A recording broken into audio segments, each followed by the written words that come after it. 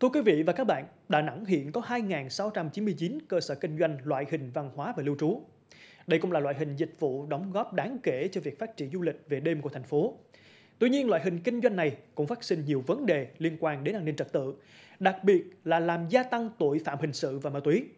Vì vậy, công tác siết chặt quản lý, đấu tranh kéo giảm tội phạm tại cơ sở kinh doanh dịch vụ văn hóa và lưu trú trong dịp Tết Nguyên đán là vấn đề được lực lượng công an thành phố chú trọng.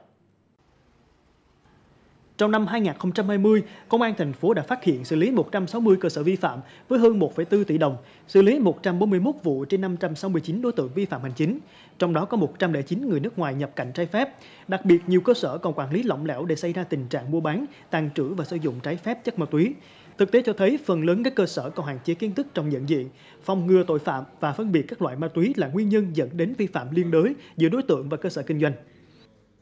Ma túy bây giờ nó khác xa ma túy ngày xưa. Nó không còn là bàn đèn thuốc viện nó không còn là cái mà nó chỉ là những cái viên ờ, uh, trá hình như là viên kẹo. Thì không ai có thể phát hiện được. Cái thứ hai là uh, cái việc là làm thế nào để tập huấn cho các cơ sở lưu trú cũng như là chúng tôi để mà có thể biết phòng ngừa phòng tránh. Chứ còn nói là cái tôi không tất cả các cơ sở kinh doanh không ai muốn dính đến những cái vi phạm cả Trước mong muốn của cơ sở kinh doanh, trong thời gian đến, Công an thành phố Đà Nẵng sẽ tăng cường phối hợp, tập huấn cho đội ngũ nhân viên, quản lý, tránh tình trạng lợi dụng địa điểm kinh doanh để sử dụng trái phép ma túy. Đối với nhà nghỉ, khách sạn, lực lượng chức năng sẽ tiếp tục kiểm tra việc khai báo lưu trú, chú trọng đến người nước ngoài để kịp thời phát hiện các trường hợp nhập cảnh ở lại Việt Nam trái phép. Từ nay đến Tết thì là Ờ, công an quận là thường xuyên những cái nơi nào mà anh để xảy ra cái tình trạng là hoạt động quá giờ gây tiếng ồn và có sử sử dụng si sa bóng cười là chúng tôi tăng cường kiểm tra xử lý ngay. Cái căn bản nhất là tập huấn cho cái đội ngũ à,